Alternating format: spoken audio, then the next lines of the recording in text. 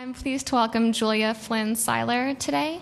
Uh, Ms. Siler has reported extensively on the Mondavi Winery for the Wall Street Journal, and she continues to write for them on wine and business. Uh, her recently published book, The House of Mondavi, is a New York Times bestseller. It chronicles the family business from uh, its Italian immigrant founders to the split between their sons, and finally to the financial trouble that caused them to lose the business. Uh, I'm now very pleased to welcome Julia Flynn Siler.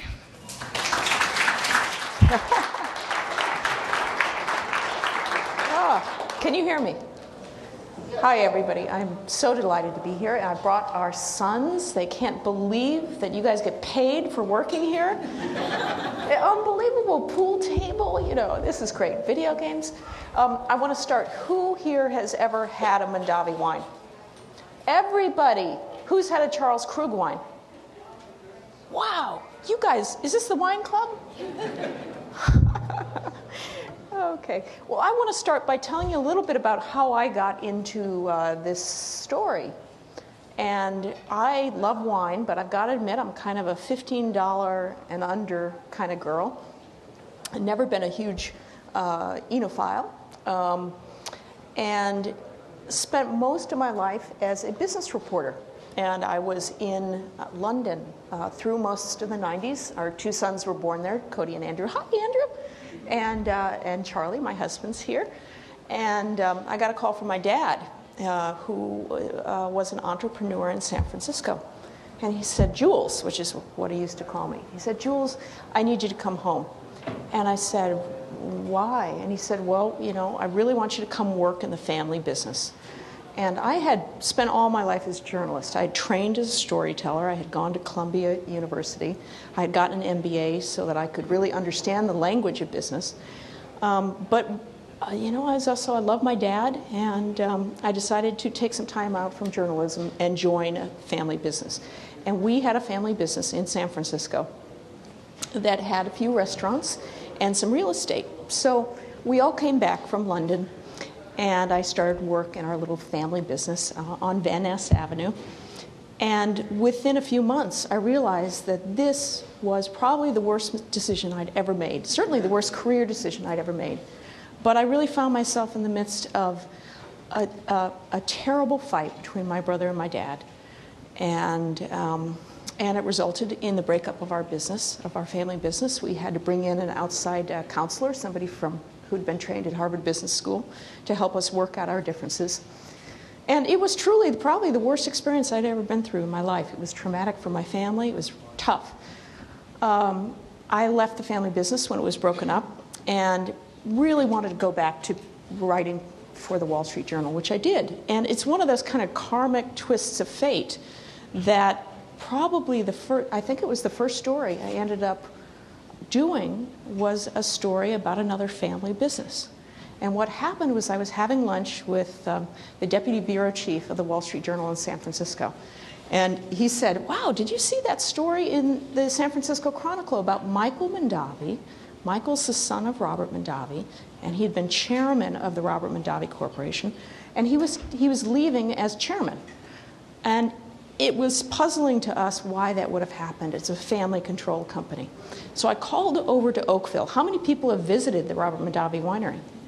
Almost everybody. It's beautiful. It's the most visited winery in Napa Valley, probably in California. And I, I, I, don't know if this is apocryphal or not, but it's said that more people visit Napa Valley than visit Disneyland every year. It's a lot of people. Um, so I called over to the winery and I said, could, you know, could I talk to Michael? Could I talk to somebody at the company? Could I talk to the board of directors? And they said, no, no, and um, we're not talking to you at all. And uh, we, you know, any case, that for any reporter worth his or her salt is a red flag that makes you really curious. And so I spent the next, uh, next three months, three or four months, digging around, talking to anybody who would talk to me um, going through as many documents as I possibly could, spending a lot of time up in Napa Valley, and this was the result. Um, there's a front page story about uh, the Robert Mondavi Corporation and what was happening. But it was a very unusual front page story. I had started out thinking I was going to be writing a business story, but really what I was writing was a family story. And the stories chronicled a recurring pattern of brother against brother, which was very startling. Uh, people in Napa Valley, which is a pretty closed, very tight community, they knew this story and they had, they had seen it firsthand. But people outside of that community really didn't know about that. And as a publicly traded company, the fact that um, the brothers, the current set of brothers, Michael Mondavi, who had stepped out as chairman, and his brother Timothy, who was on paper vice chairman, the fact that their squabbling had led to paralysis in the boardroom was news.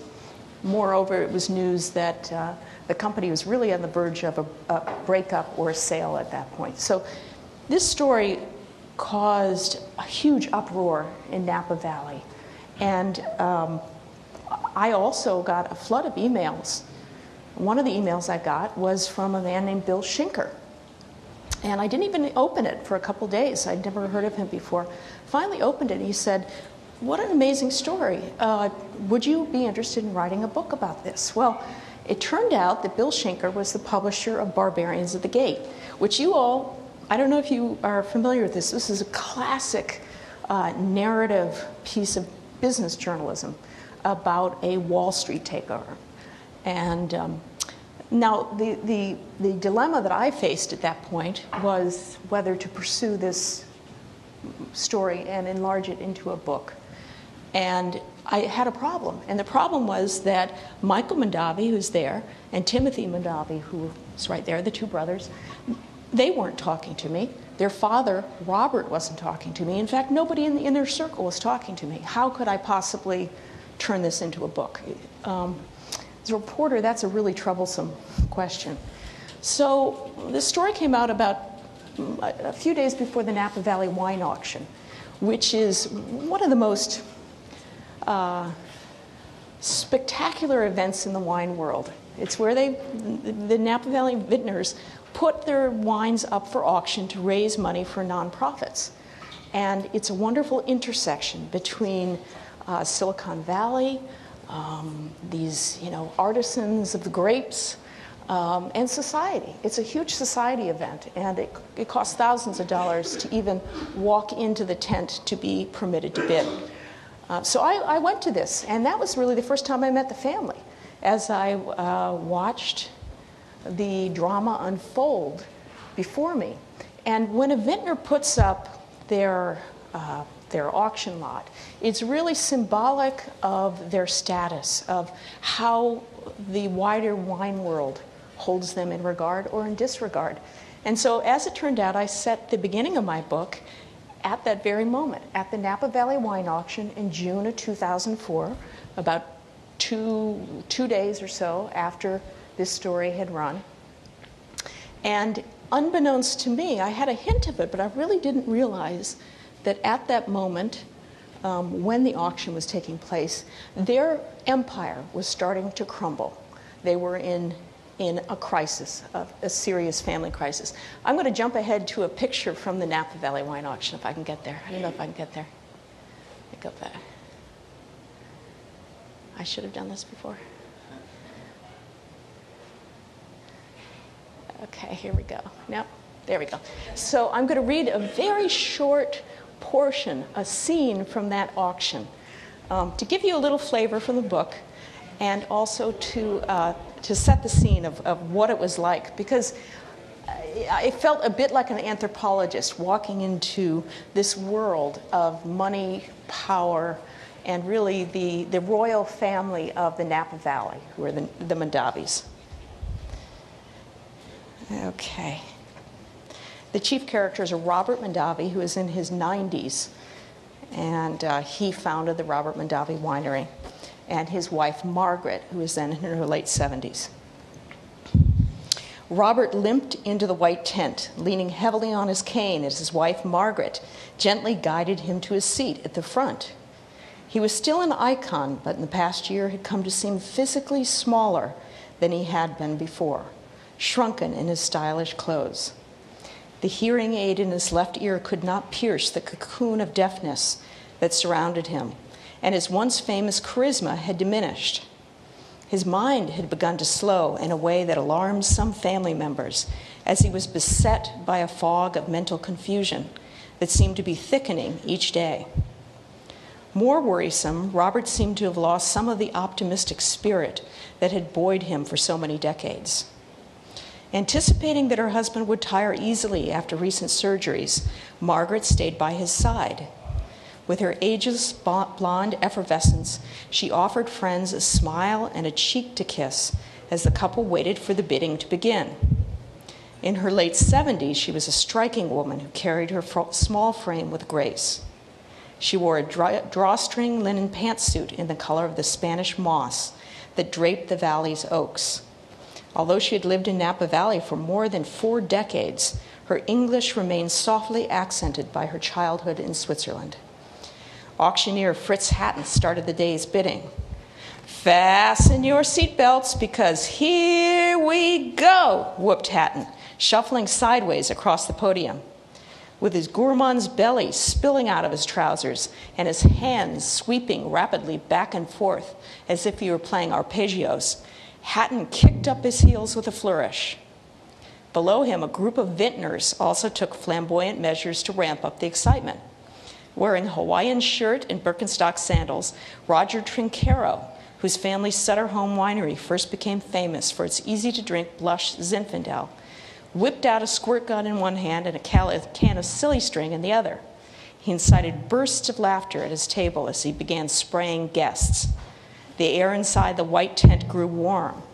Then, minutes into the auction, some 2,000 wine lovers shifted their attention to the podium as Hatton started the bidding for Lot 11. Lot 11 is the Mondavi's lot. 5,000, there it is, 10,000. An awkward silence followed. The bidding had stalled and hushed tension gripped the crowd. After decades of serving as a global ambassador for Napa Valley wines, promoting them in countless tastings and events, Robert Mondavi had built up deep reservoirs of goodwill. No one wanted to see the old king humbled by a low sale price for his family's choicest wines. Yet the most sophisticated wine buyers were no longer paying top dollar for Robert Mondavi Cabernets. The Mondavi reputation had slid a few years earlier after his younger son Timothy's winemaking style came under fire from such influential critics as Robert Parker and wine spectator's James Laube. By the late 1990s, wine connoisseurs had moved on to small production cult wines such as Screaming Eagle, Harlan Estate, and Dalla Valle vineyards that were wildly expensive. $200 a bottle was not unusual and very hard to get. 15,000, 20. Volunteers with big foam index fingers, the type that fans wave around at football games, pointed in the direction of bidders to draw Hatton's attention to rival paddles. Paddle 253, held by Jess Jackson, the 74 year old proprietor of Kendall Jackson Wine Estates, was bidding against Paddle 5, held by construction heir Ron Kuhn, a sharp negotiator who had had a legal run in with the Mondavi family a few years earlier Jackson wore a placidly earnest look on his face. With a net worth estimated by Forbes magazine at 1.8 billion, he was one of the wine industry's few billionaires. 45,000, 55,000. Hatton looked around for any bidders to top the previous bid. There were none. Robert seemed confused by the slowing bids. Shadows crossed his face. Would his family suffer further dishonor by such a low price? Sold! To Jess and Barbara Jackson, thank you very much, exulted Hatton. Excited volunteers, known as the Hoopla Committee, surrounded Jackson, a towering man with a silver crown of hair. Some of them tossed up fluorescent green Napa Valley donor dollars, with each bill in the denomination of $50 million, bearing the slogan, In Wine We Trust. Across the room, Robert Mondavi's bald dome and aquiline profile was unwavering amid the flutter of the play money. And I'll stop there, but I'll, I will say that the, uh, the, the prologue goes on to, to describe a lot that's placed very closely to the Mondavi lot, and that's the Screaming Eagle lot. And it went for $220,000, more than four times as much as the Mondavi lot. Um, and it was just, you, you couldn't ignore the, the way that the wine world had changed very dramatically in the past few years. So uh, let me go back now.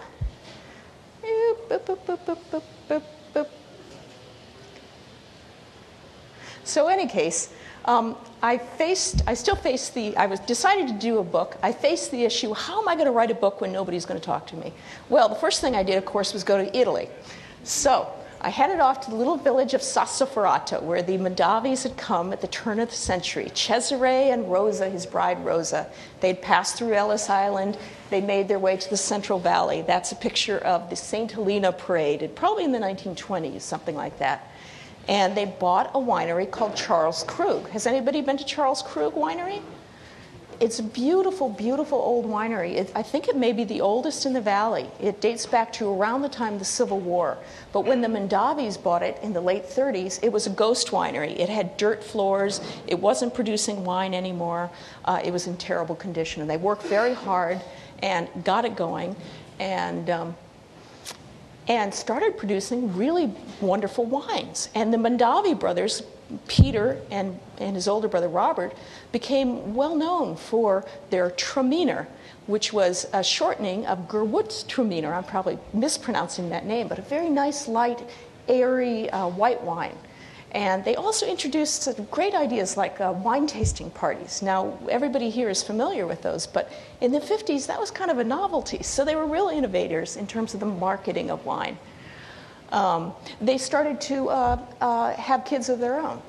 Robert had uh, three children Michael, his oldest son, Marcy, his daughter, and Timothy, his youngest.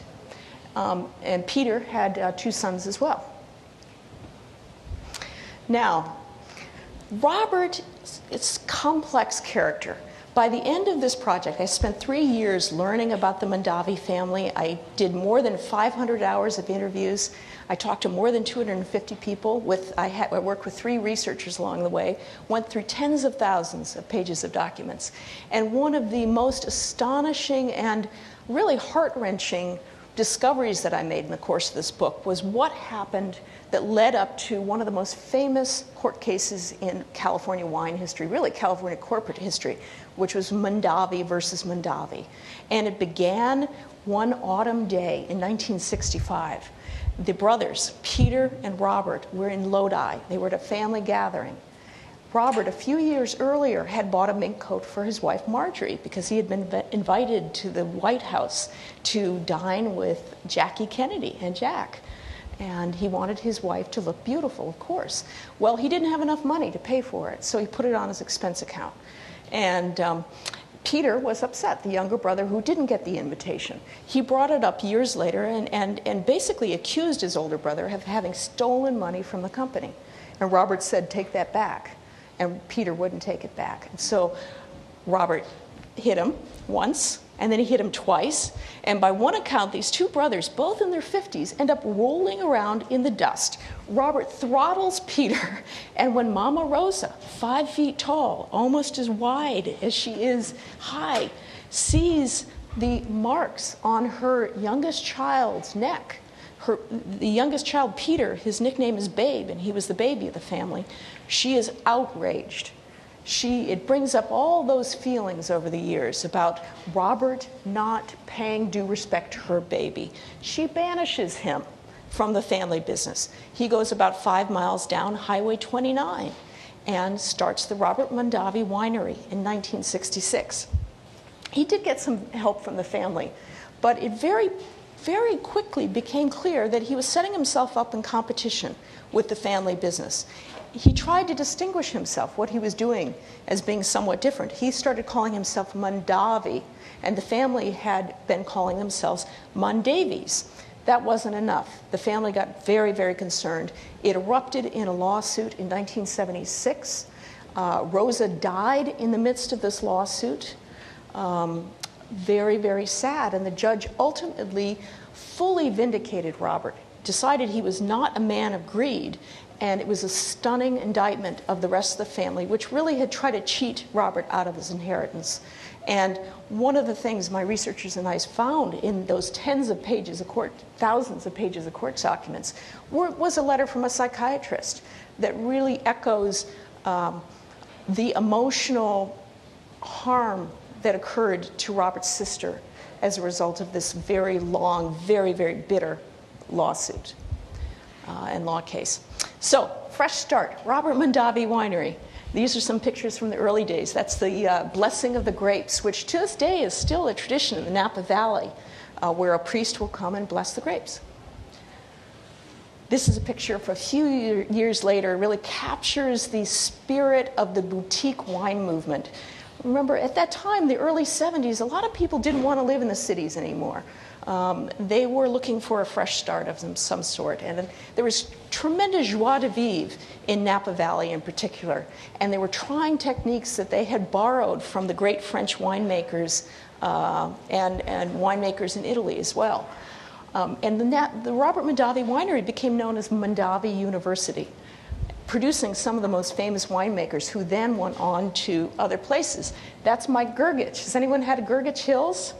Beautiful, beautiful wines. That's Warren Winiarski in the red shirt. Warren was the very first winemaker at the Robert Mondavi Winery. In fact, one of the first people I went to talk to in the course of reporting this book was Warren, who had uh, been a University of Chicago lecturer before he became a winemaker. And to this day, he goes back every summer to uh, St. John's College and teaches Shakespeare. And so I sat down with Warren. I said, Warren, are there any models from literature which might be helpful in understanding brother versus brother and what happened at the Mondavi winery? And we spent a great deal talking, a deal of time talking about King Lear. King Lear, of course, is the Shakespeare play based on an aging king who attempts to divide his kingdom between his children. And war erupts. The most famous scene in King Lear is when King Lear has gone mad in the storm scene. And there was a lot of resonance which, with the drama that was at that moment unfolding at the Robert Mondavi winery with his sons and his daughter. One of the early currents uh, in the history of what happened was the difficulty of being the son of a charismatic, visionary, and very passionate father. Here's a picture of Michael Mondavi. He's very young then, he's probably in his uh, 20s somewhere, and his dad is standing like that. Michael uh, was often in his dad's sh- um, shadow. And that was a tough place to be, very tough place to be. At the same time, a woman came into Robert's life. Uh, she had first work, worked at Charles Krug. She had then gone over to the Robert Mondavi winery. Um, they had a love affair, and uh, she worked there. She was an employee, um, and his wife and the mother of his three children also often worked at the winery. It left a lot of pain in that family, and to this day, there's still a lot of anger um, towards Margaret. Uh, although, that said, Margaret was born in Switzerland, speaks many languages, and uh, somebody once said to me that, you know, without Margaret, Robert would have been a boy from Lodi all his life. She brought a level of sophistication um, to the winery that wouldn't have been there without her. She contributed a great deal, but again, uh, that, that relationship uh, caused a lot of pain to his children. Robert Mondavi Winery is also famous for being the first American winery to ever enter into a joint venture with the French Grand Cru producer, in this case, the, uh, the uh, uh, Baroness, Baron Philippe de Rothschild. And that's a picture of the Baron in bed where he preferred to do business. Sounds pretty good to me. Um, and right next to him is the label designer from Opus One. And she spent a month trying to find the right label that both men, Robert Mondavi and the uh, Baron, would like, and finally came up with a, a wonderful label. Opus One itself, when it was built, was the most expensive winery ever built in the Napa Valley. It was built by the same, or designed by the same architects that designed the Transamerica Pyramid. And at the time, people made fun of that design. They said it looked like a spaceship that had landed in the Napa Valley. And in truth, you know, it really was different from the, um, from the, the kind of uh, Victorian structures, uh, the big stone Gothic structures, which were much more common, are more common in the valley. Um, so it's a very, very unusual building there. It's right across from the Robert Mondavi Winery. Has anybody been to Opus One or tried an Opus One? Do you like the wines? Yeah, they're delicious. They're about $160, $170 a bottle. So Robert, like his own father, very much wanted his sons to be part of the business. Um, and they tried a variety of power sharing arrangements over the years co CEOs, co managing directors, office of the managing director, very different people. Timothy, the, the artist, the winemaker, Michael, very charismatic salesperson, very much the extrovert. They created a triangle that even though they had psychiatrists and family consultants come in and try to help them work out some of the conflicts that they felt, um, really couldn't work them out. And they started to, those conflicts became even more acute in the early 90s when many, many Napa vineyards were attacked by a tiny little aphid called phylloxera that sucks all the juices out of grapevines. The Mondavis had to replant many, many of their vineyards, and they had a, a big a big bill to pay, and the banks were tightening lending. They decided to go to the public markets and do an IPO to pay for that replanting. And they studied companies such as the Washington Post Company um, and other family controlled publicly traded entities uh, and came up with a dual class shareholder structure that they were convinced was going to be takeover proof. Meanwhile, they kept on having a lot of great parties. This is one of my favorite. I love this picture. It's an out in Africa party that, that they hosted around that time. Uh, they're they're uh, giving the champagne, the, uh, the elephant uh, sparkling wine or champagne. And they brought in a bunch of uh, African animals, including chimpanzees, which were not potty trained. They ended up having to put diapers on them for the party so they wouldn't poop on anybody. Um, but the Robert Mondavi Winery, even after the IPO, became famous for really spectacular parties. Meanwhile, Robert, uh, Robert, his grandchildren are starting to join the business and showing entrepreneurial energy of their own. That's Carlo, that's Tim's son, that's Rob, that's Michael's son, and they, uh, they very much want to join the business. And Robert himself is very hopeful of creating a, a business dynasty. In other words, a business that can be handed from generation uh, to generation. This is the Napa Valley Wine Auction again in uh, 2004. And I'm not going to tell you what happens um, uh, afterwards, but I will say that as part of becoming a public company, they started to recruit uh, pretty tough, pretty smart outside directors who started to question some of those parties, question some of the, the, the line between what belongs to the family, what belongs to the company. Uh, chief among them was a, uh, a man named Sir Anthony Greener, and uh, he became the leader in a group of outside directors that questioned the family's leadership of the Robert Mondavi Winery. Meanwhile, on the opposite side of the country, another pair of brothers, Richard and Robert Sands, uh, they started their wine dynasty on the opposite end. They, they are best known probably for Richard's Wild Irish Rose. I bet you nobody in this room has ever tried that stuff. Okay, it costs less than $2. Uh, when I was in the war room at Constellation in New York, they had just tried out a new variety. It was fluorescent green, the green apple kind. This is this kind of uh, gutter wine, basically. And no, no disrespect intended, a good seller. Uh, but they are watching what's going on, and they're particularly watching this drama unfold with the outside directors, the brothers fighting each other, the, the Robert himself very upset with the direction the company is taking. In any case, I will I'll leave some of the surprises. How did those brothers end up taking over a seemingly takeover proof company? Um, that's what I wanted to know as a reporter. And I was able eventually to convince enough people to talk to me to put together the pieces of this puzzle. This is, these are pictures from the year later after the, the Napa Valley's royal family was deposed, essentially. And there was a, um, this is the 2005 Napa Valley wine auction, where there was a joint lot, um, a, a joint barrel of wine produced by both sides of the warring family Peter's side and Robert's side.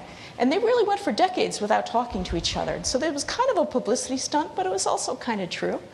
And uh, meanwhile, the others, well, Robert and Tim, Marcy, Margaret, are also planning to produce some wine on their own. Who's missing from this picture? Well, Michael's missing.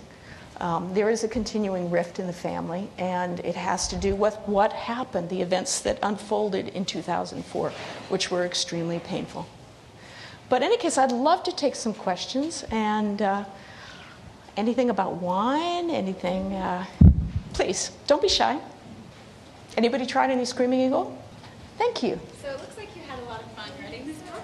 Yes. Oh, do you want me to Okay, sure. I just want to say it sounds like you had a lot of fun writing this book, and I wanted to know what the most fun part was for you. What personally. a great question. I had a lot of fun. What was the most fun part? Well, I, I joked to my colleagues at the Wall Street Journal because I continued to do stories for the paper during this period that I was on a hardship duty having to drive to Napa Valley at least once a week and try amazing wines and talk to a lot of the most famous winemakers in the world.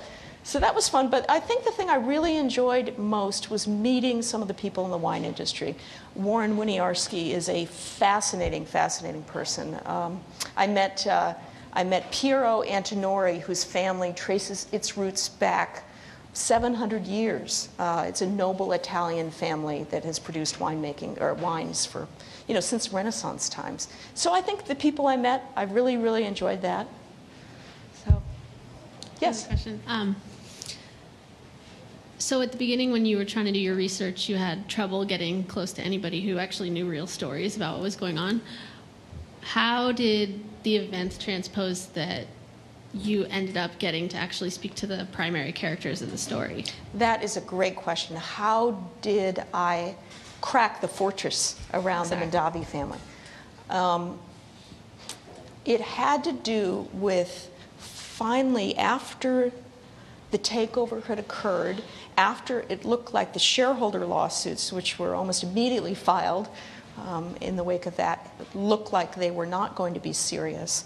The outside chairman of the board, who had replaced Michael, um, decided that it was a good idea to talk to me. And primarily, this is a man named Ted Hall who runs, he's a former McKinsey consultant.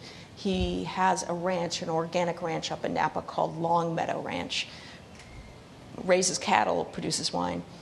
Um, and he had been cast as the villain the people closest to the Mondavis really had spread the word that, that Ted was the bad guy in what happened.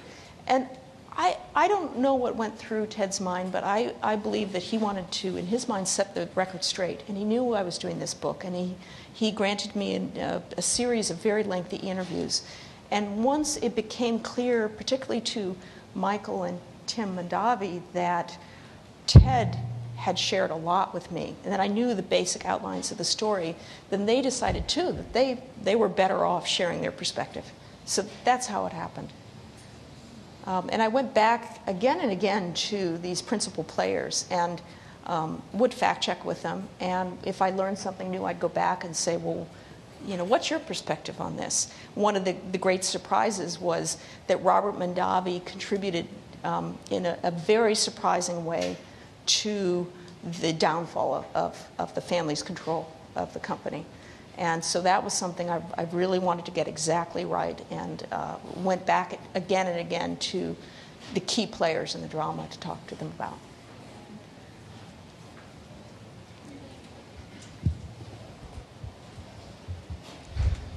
So at the beginning, you said that you who were out in San Francisco and watched the uh, disintegration of your own family's business. Yes. So a two-part question: one, are you willing to share some details of that? And two, were there any similarities between your own family, uh, you know, struggles and the Mondavi's family struggle? Yes. Thank you for that question. Um, it, much smaller family business. It didn't disintegrate. It did break up.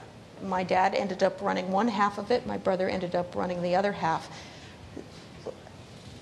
almost uh, the similarity that I see was that problems arose almost out of success. And as the success grew greater, questions started rising to the surface of who gets credit for it? Is it dad? Is it brother. The same thing happened to the Mondavis. Um, they went public. All of a sudden, they have access to capital. Um, it's almost, there was a lot of success and a lot of energy and a lot of different projects. And dad, Robert Mondavi in particular, had trouble really stepping away and letting Michael run the show. And he grew, Robert Mondavi grew very concerned about the direction Michael was taking the company. Likewise, my dad, I guess, you know, if you were a psychologist or a family business consultant, might say that both men experienced a little bit of founder syndrome, which is uh, the difficulty of letting go. It's your baby, you created the company. It's hard to let your son take, take it over. So I think that's the similarity. Did the fact that you had just been through that affect your writing? I mean, Yes, I think that it um, helped me to be more empathetic towards everyone. I mean, I really, I, I, had experienced a lot of pain in what happened with our family. So I found my role in talking to particularly Michael and Timothy to be one of a listener. And I interviewed them shortly after they had lost control of the Robert Mondavi Corporation. And it was a very, very painful time for them. And I, I don't know if they appreciated my listening, but um, I, I, they did give me a lot of their time, which I appreciated. Uh, I'm not sure this is, this is part of your research, but could you tell us a little bit about how Fume Blanc was born? Yes, that's a great question. How Fume Blanc was born. Robert Mondavi really was, he had gone to, to France in the early 60s and learned, soaked up as much as he could from French winemakers and how they did, how they did what they did, both on a technical terms in terms of oak barrel fermentation, as well as marketing.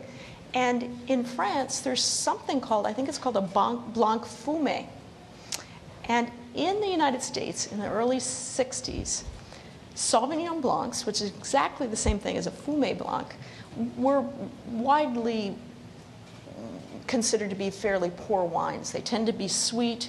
The grapes that were used at that time were not very good. Um, it was a liability to try to sell a Sauvignon Blanc as a better than average wine. And so he came, it was really a stroke of genius. He said, okay, we're going to add a little French panache to this. We're going to reverse the name. We're going to call it Fumé Blanc, which is white smoke. And um, we're going to not be entirely clear that, that this actually is a Sauvignon Blanc. We're going to market it as something um, a little bit better than that. And in my opinion, their Fumé Blancs to this day are absolutely delicious. I like them. So, any other questions?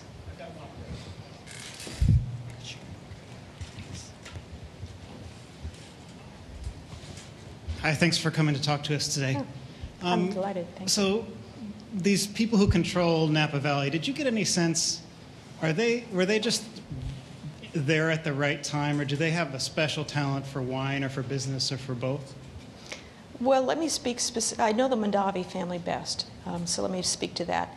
Cesare Mondavi, he's the man who was the came from Italy and settled in the Central Valley, and he began his business here as a, a grape broker, a grape wholesaler.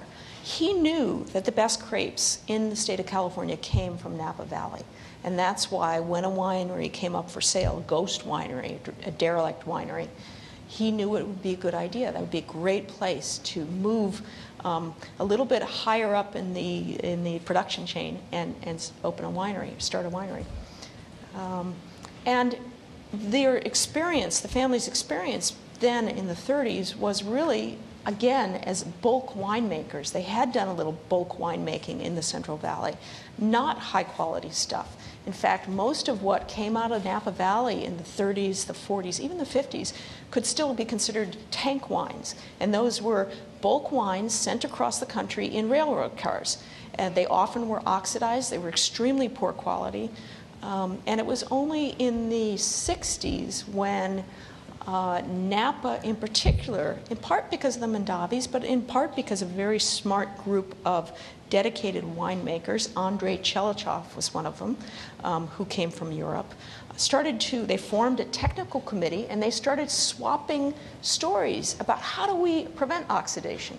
What can we do? I mean, in those days, they used to ferment uh, wine in open barrel redwood tanks. Now, yellow jackets would fall into that wine, gunk would fall into it. Nasty really nasty stuff. And so they started to change the way they made it. And I think the fact that they got together, I'm sure there's a parallel in the computer industry, uh, swapping ideas about how to make it better. And I'm not sure there was the same kind of technical cooperation going on in the Central Valley, which stayed more committed to uh, the bulk wine market. Although UC Davis, of course, even in the 50s was, was the center of American uh, research into winemaking. Does that answer your question? Yeah, I think so. Okay.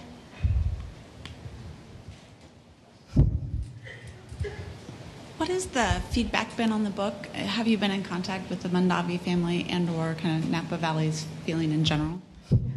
Well, one, one of the, the um, funniest phone calls I got was shortly after the book came out. It was from Rob Mondavi, Michael's son who's in his 30s, very high energy uh, fellow has now gone to work with Michael at a new company, their new family company called Folio. And Rob called me from his cell phone and he said, you know, kind of the scratchy cell phone, and he said, you know, I think I'm the only member of the family who wants you to sign and send me five copies of the book. and likewise, I had another, I had a lady who is the PR person for the Peter Mondavi side of the family come to my reading in Sonoma. And before the reading, she said something to me along the lines of, Thank you for being so nice to Peter. Which I thought was humorous because that, the, the court documents in the Mondavi versus Mondavi case did not reflect well on Peter Mondavi Sr., unfortunately. That just was the case. That, that's what happened. Um, but uh, I, I, did have a book signing scheduled at the local bookstore in Napa, which was canceled. Um, and uh, after the New York Times chief wine writer Eric Asimov wrote a wonderful piece about the book very shortly after it came out. And as soon as that piece came out, I, my inbox was again flooded with invitations from Napa. So I, I think that um, people in Napa realize that th- that's what happened. I, am just the chronicler. I was the person who told the story. And um, I would imagine, I mean, it's a tough emotional story, and uh, you know they have not told me directly what they think. I imagine it's you know it probably has dug up some painful memories. So, yes. Did you find yourself liking or disliking any of the characters, and or were you able to keep objective throughout the whole? I, I found um, I like them all. I particularly became fascinated with Robert Mondavi as a person and what kind of I mean, what kind of person is it who would sue his mother, who's in her 70s and barely literate? Really, that takes a lot of backbone, a lot of guts, a lot of strength. Um, it, yeah. I, I, became fascinated with that and, and with him. And he was, uh, he is, he's still alive. He's 94 years old now. Um, passionate, a visionary, and his he says himself in his autobiography that he was not a particularly good parent, and my reporting showed that too. So, very complex uh, person, and I found it just fascinating to learn about him. Yes?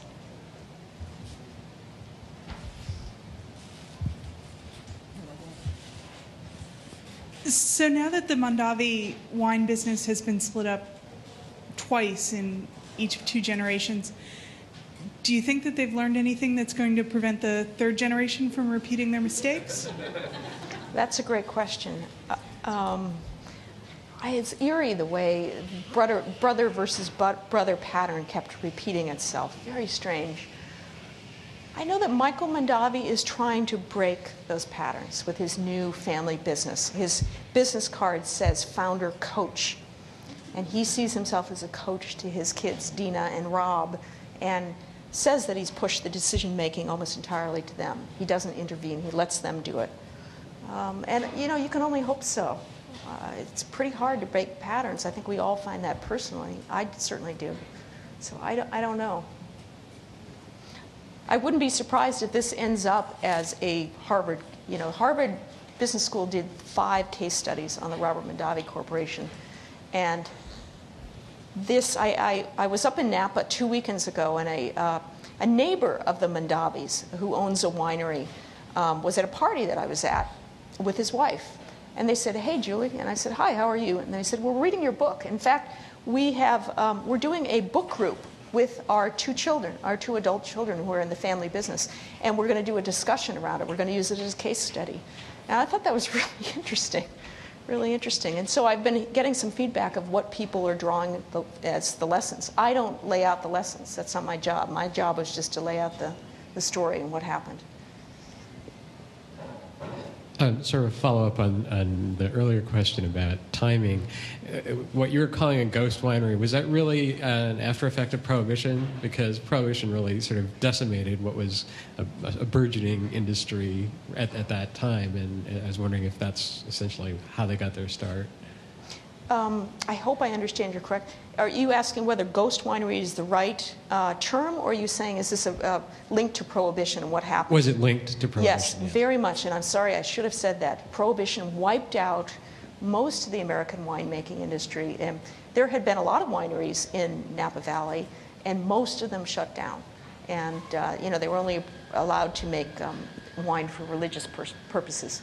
One of the ones that shut down was Charles Krug, eventually. So I also, oh, yes. So what was the best wine you got to taste in, in you know, researching this? Thank you for asking that question. Um, I know Screaming Eagle, Screaming Eagle was the most expensive wine that I got a tiny taste of. It's very delicious, but I have to say that my very favorite wine that I tasted in the course of all the research I did was um, a ridge wine produced right around here, up, up in the hills, which was delicious. And in fact, they recreated the famous Judgment of Ter- Paris tasting uh, a year or two ago. And I think the ridge wine came in first uh, for modern a modern matchup between California versus France. And I loved that wine. I thought it was really really good. But I do want to say anybody who has a book anybody here have a book group? Wine lovers book groups? Well, there is an, uh, there is something fun that's on my website. Um, and it is a, a, sipping tasting notes. So I don't know about, I have a book group, and we drink a lot of wine in my book groups. And I've made a suggestion about how to um, uh, pair wines with the reading of this book. And so you can drink Mike Grgich's wine, you can drink Warren Winiarski's wine, you can even drink, uh, you know, if you have a, you're on a budget, go to, go to Trader Joe's and get some uh, Two Buck Chuck, because there's a lot about uh, uh, Fred Franzia, the maker of Two Buck Chuck, in this book as well. But thank you so much. I've really enjoyed this. I'm happy to sign books, too.